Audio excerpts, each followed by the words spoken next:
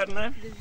अपना mobile on करें Google map से कोऑर्डिनेट्स जो हैं वो नोट करें। आपने इस पॉइंट पे रीडिंग ली है। ये बहुत इम्पोर्टेंट है कि जिस पॉइंट पे आप ये रीडिंग ले रहे हैं, वो रीडिंग के कोऑर्डिनेट्स आपके पास हो।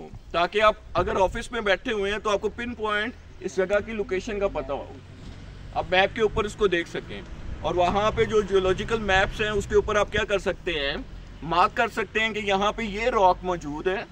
इसकी डिप एंड स्ट्राइक ये है। और अगर उसका मैप अवेलेबल नहीं है तो आप खुद बना सकते हैं। खुद उसके अंदर ये चीज़ें ऐड कर सकते हैं। लेकिन उसके लिए ज़रूरी है कि आपको कोऑर्डिनेट्स पता हो। तो मोबाइल से आप कोऑर्डिनेट्स मालूम करें।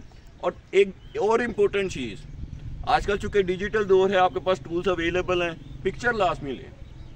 पिक्चर लें, आपके जेन में रहेगा। इन केस फिर कभी आप वेरीफाई करने के लिए इस पॉइंट को आते हैं तो पिक्चर आपके पास है, आपको ये जगह ढूँढने में आसानी होगी। कोऑर्डिनेट्स हैं पिक्चर हैं, जगह आसानी से ढूंढ लेंगे, ठीक है?